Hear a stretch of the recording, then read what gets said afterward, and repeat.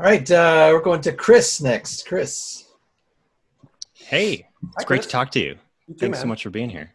Uh, I kind of have a two part question, and it kind of comes down to like how you save things from going south. So I don't know if you have like any particular go to tips if a scene starts going south on maybe how you can resurrect it. And then I know we've already had a question about like a scene partner, but if there is like, um, if you've ever had like a scene partner that you've just always are on a different page with, do you have any experience actually overcoming that hump or, or is there any possibility of, of salvaging that?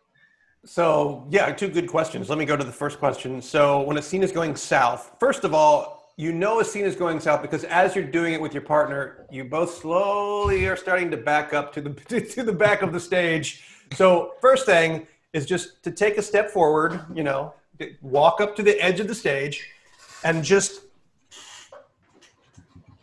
at, come in with a big offer. Just a big offer. It can be out of left field.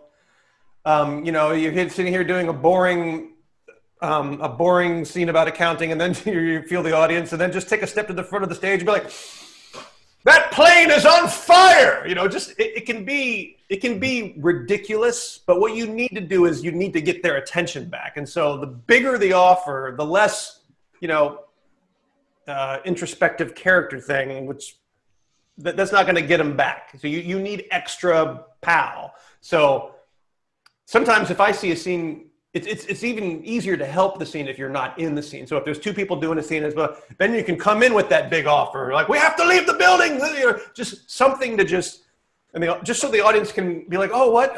Um, so like an adrenaline shot, I guess, for the audience. That, that's how I would I would do that. Um, as far as a scene partner, do you because there have been times when I've been involved with groups and there's someone and the only the only reason they're annoying me it's not because they're not a lovely person it's because they just don't have the chops yet. Is that what you mean? Someone that's just not there? Yeah. Okay. Um, well, one thing is that it's it's it is great to do it with those people because they're observing you and and whether you know it or not through your you know like you know uh, you're helping them because they're performing with someone who's on a on a higher level. So do know that you are helping them.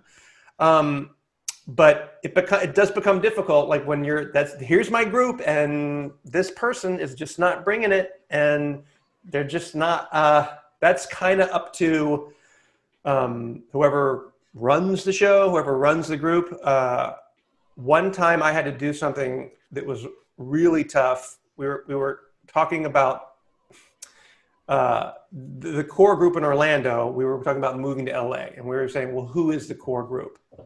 And there was this one person that had assumed that they would be in the core group.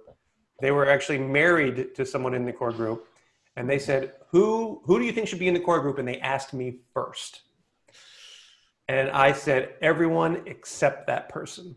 And it was so hard and they probably hated me for a long time but i think that they learned or realized that they that it wasn't their thing and that you know instead of being angry at us for for everyone eventually backed me up even though i had to go first i think they realized yeah if, if that was your thing you would have learned with us and gotten better over time. And for whatever reason that was so they went on and had a much different but amazing career. So sometimes you have to do those those hard that was not fun. That's i still think about that. That was oh, gosh 25 years ago.